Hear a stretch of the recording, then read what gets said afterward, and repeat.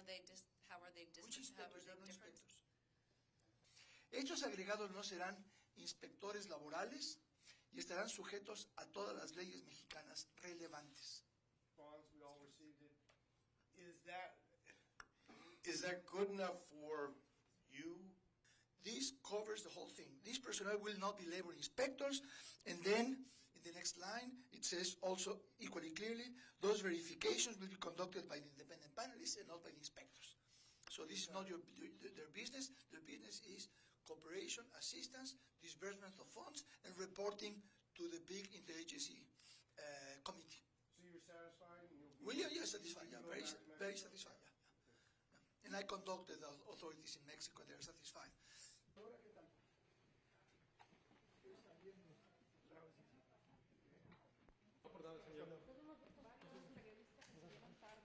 ¿Qué tal? ¿Cómo estás?